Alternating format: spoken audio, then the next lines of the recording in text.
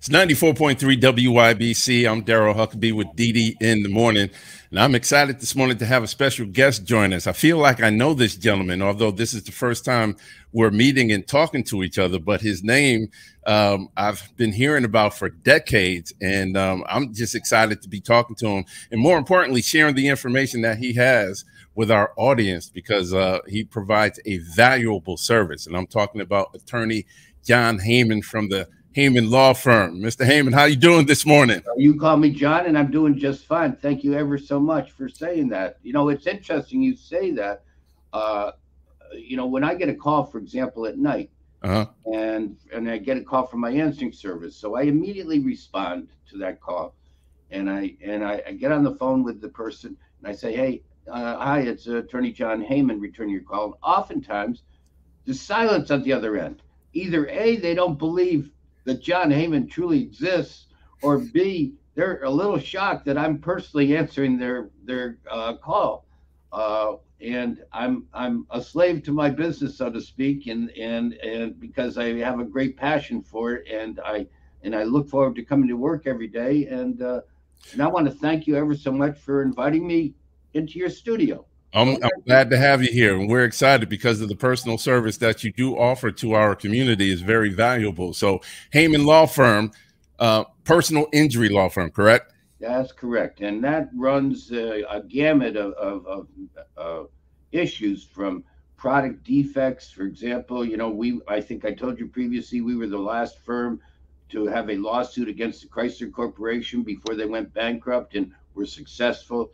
Uh, we do all kinds of product defect type of cases, and they're they're very very sophisticated type of cases from slip and fall cases. Uh, you know, if you fall down, if you fall down and hurt yourself as a result of somebody's negligence, that's a case. Dog bites, uh, motor vehicle accidents, of course. And I think what you really want to talk about is uh, our, our involvement and my my personal involvement within the motorcycle community. Yeah, absolutely. And personal injury is a thing that, you know, unfortunately happens on a daily uh, occasion. Yeah. And sometimes it's our own fault, but then, you know, a lot of times it's to the fault of somebody else. And that's where you come in to help, you know, um, bring justice to those types of uh, cases. Well, you know, we're supposed to be living, we're supposed to be living in a civilized society, you know, and as part of a civilized uh, atmosphere, one has a duty of care, believe it or not, to everybody else, stranger, and that includes strangers. All right, and there are different duties of care depending upon whether that person is invited into your home or a trespasser. And believe it or not, you even have duties of care to trespassers. But yeah. certainly, you have duties of care when you're on the road and somebody's operating an 8,000 pound automobile and you're on a uh, uh, motorcycle, which weighs hundreds of pounds, little not not thousands of pounds. You know, right? There's that so, duty of care. So you're very involved in the motorcycle community. I actually very used to ride a bike um, back in the day. I used to live in uh, D.C., Maryland uh, area, so I'm a okay. former bike rider. I kind of retired from it, but um, you know that's where your area of um, focus is, so to speak, for your firm, and you do a lot for the motorcycle community it's it's uh, we do a lot of work within the motorcycle community. We do, and, and I can give you reasons why, and I can tell you historically why we got involved.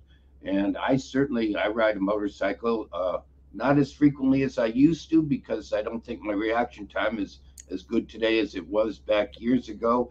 And I had a pretty bad accident a few years ago and did a job on my leg, and I lost my I broke my leg in two places, uh, tore my MCL, and completely lost my ACL. So, you know, the ACL, you can't run if you don't have an ACL. But what it also means is if you have a heavy motorcycle, it's hard to lift it up, you know. Mm. And uh, and so I have two, and one is he- real heavy, and the other is a lighter one. So uh, I, I I use the lighter motorcycle more than I the the heavier one, but don't ride as often as I used to because I don't trust uh, my own in, in reaction right. time like uh, when I was in my 20s or 30s, you know. And, and that's one of the main reasons why I retired from it. So I, I can definitely relate.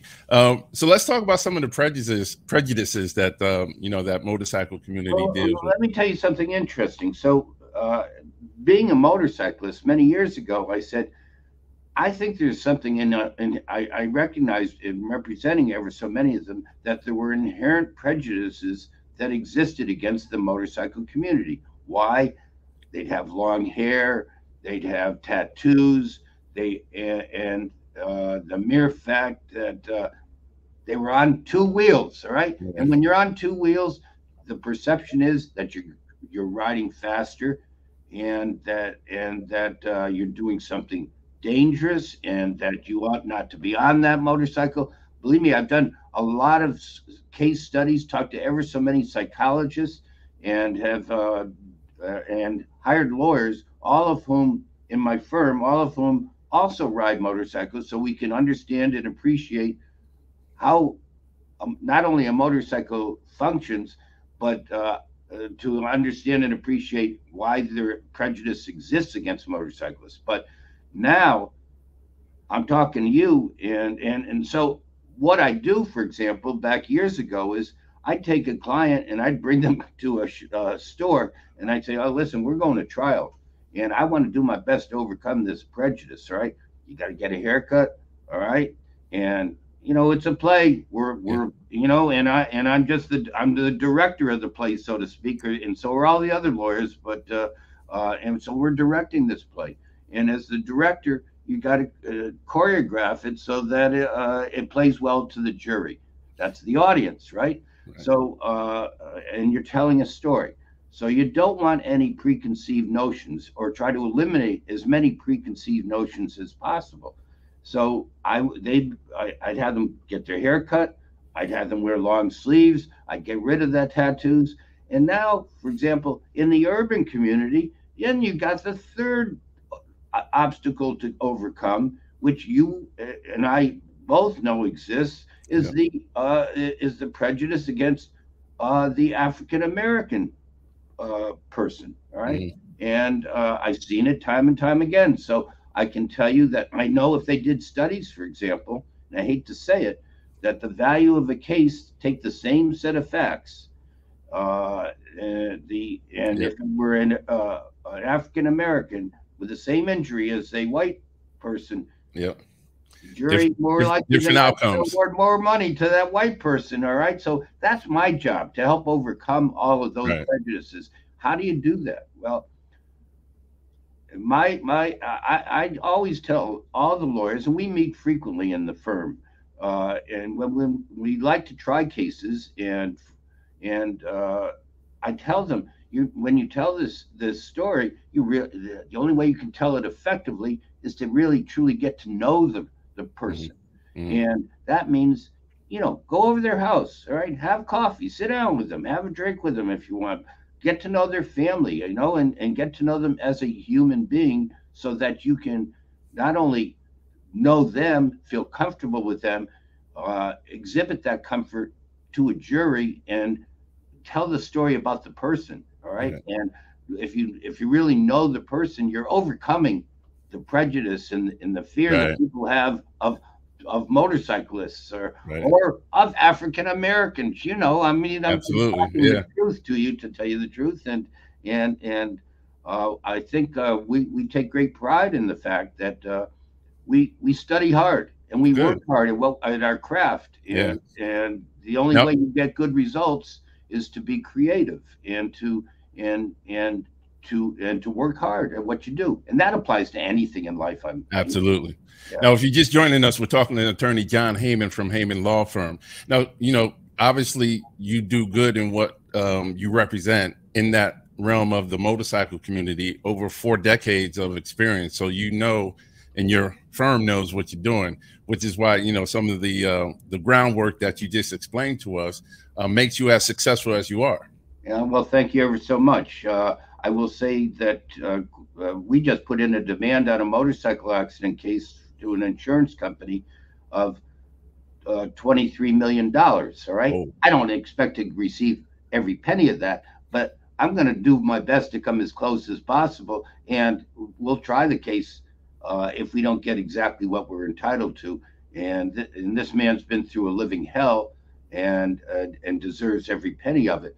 Um, I've also told the lawyers in the office, I said, listen, have you been to the grocery store lately? because I know I, when I go, I'm always shocked, you know, at the prices of everything. I said, so everything has increased in value. The cost of doing business has increased. The cost of advertising has increased. The cost of everything has increased. Yeah. So the value of cases across the board, forget what you valued the case at three years ago, they're 20% greater today. And yeah. you hold out for 20% more, otherwise, you take the case to trial. Mm. Um, that's well, a you, reality. Yeah. Well, you definitely have the expertise and the uh, longevity in in the uh, uh, field of representing motorcyclists and personal injury. Now, mm-hmm. for anybody that may want to contact you or ever need you, hopefully, you know, you you're the type of person that we hope we ever ne- ha- never have to call. No, but I if, understand if, that completely, and I, I and and trust me when I tell you, I am not. Uh, uh, I, am not eager to to get that those calls.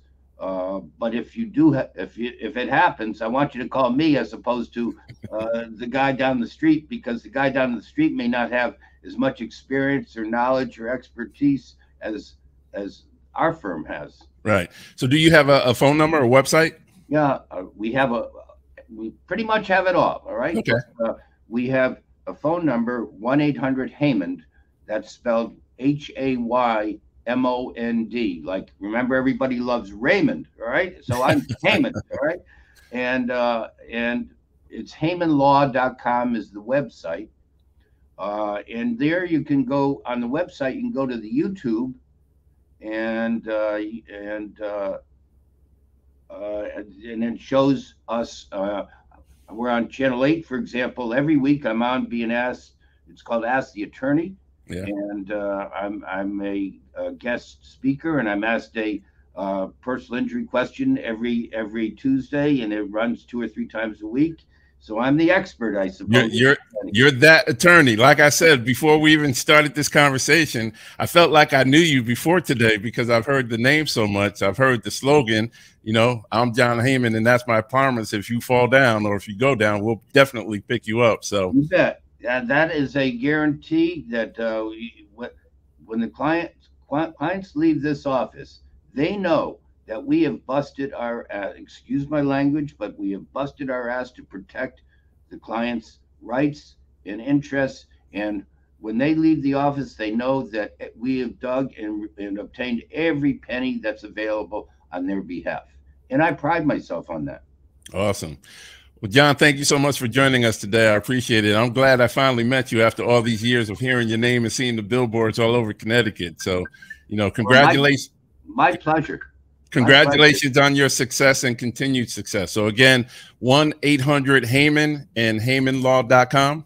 Yes, and I'll also say if you go to our website, we have what's called an event guide, and we represent and we attend events, three events every Saturday, three events every Sunday, and I'm deeply involved in helping uh, the because the motorcycle community works very hard to raise money for various charities. Right. And we do a lot of uh, we do a lot of work on behalf of all kinds of charities, and we do a lot of work with. And by the way, there are a lot of African American clubs. Uh, mm-hmm. that are, yeah.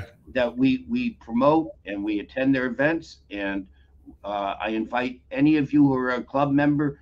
Feel free to. Ha- I can speak at your club meeting, or we certainly want to attend and promote our event because we have not only me attending, we have what's called Haymond girls. All right, these are pretty pretty uh, young women who hand out our calendar of events, which is oh, wow. also available to any anybody who listens to you.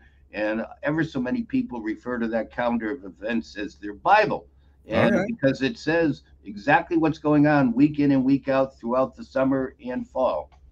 Well, I, I, love the fact that you just don't represent the motorcycle culture; you live the culture. So that that's a great thing, and uh, kudos to you. walk, I guess that's the old expression. Huh? Exactly. All right, John Haymond, Haymond Law, uh, one eight hundred Haymond, HaymondLaw.com. If you need him, you that this guy, this guy, this gentleman right here is the guy that you need to call to help you out in those personal injury situations. John, thank you so much for joining us today. It's been my pleasure, Darryl. That 94.3 WYBC. I'm Darryl Huckaby with the rhythm of the city and Dee Dee in the morning.